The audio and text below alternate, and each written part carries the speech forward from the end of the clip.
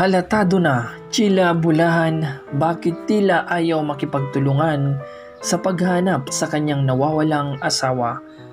Narito na po ang mga pinag-uusapan sa social media.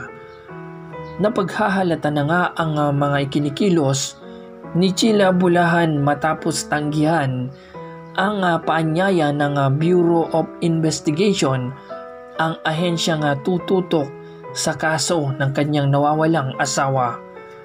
Bigo kasi ang PNP dumalag dahil sa mabagal na pag-aksyon nila sa naturang kaso. Nakontento na lamang sila sa naunang report na nalunod ang naturang seaman gayong hindi pa natagpuan hanggang ngayon ang mga labi nito. Tanging botang palutang-lutang lamang noon ang nakita dalawang linggo matapos may ulat na ito'y nawawala.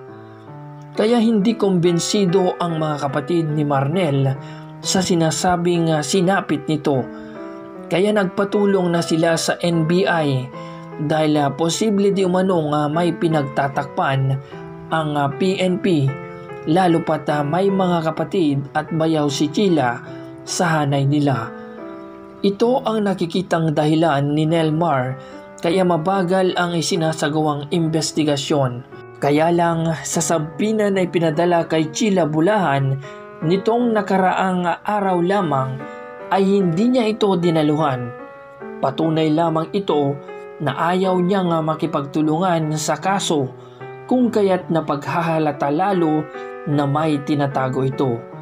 Kaya ganun na lamang ang pagkadismaya ni Idol Rapi Lalo pat nauna na nga tumanggi sa lie detector test noon na yun sana ang isa sa magpapalubag loob sa mga kapatid ni Marnel kung sakaling pumasa ito sa naturang test.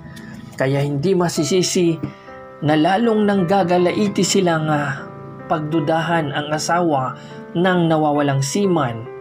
Matatanda ang hindi rin pumayag na mag-usap sila ni Jay Costura sa harap ng ibang tao maliban sa kanilang dalawa lamang. Sadyang mailap nga itong si Chila Bulahan tungkol sa isinasagawang investigasyon sa pagkawala ng siman kaya sabi nga ni Idol Rapi kahit ipikit ang mga mata, alam na this.